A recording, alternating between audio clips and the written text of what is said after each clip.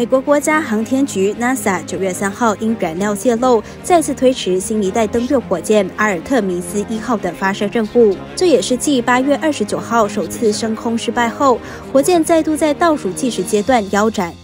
NASA 局长纳尔逊指出，这次发生的液氢泄漏问题比前一次严重，团队经过多次尝试都无法解决问题，所以决定推迟计划。在下次发射前，他们需要几个星期的时间进行数据分析和故障排查，直到准备就绪前都不会发射火箭。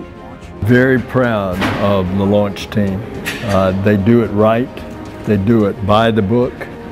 Uh, they do it very professionally. And that's why we have had this extraordinary success that we've had over the years. And I can tell you, when you strap into that rocket, you are very grateful that you've got a, a launch team like this uh, that knows what they're doing and they're not going to let you go until it's time. 为了观看重返月球这历史性一刻，不少民众一早便聚集在发射台对面的泰特斯威尔太空景观公园，想要一睹阿尔特弥斯一号的发射过程。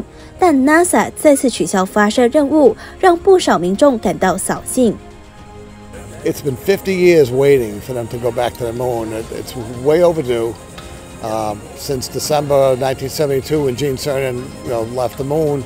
Uh, in this following December. It'll be 50 years, and I, I think we should have been, gone back a lot sooner.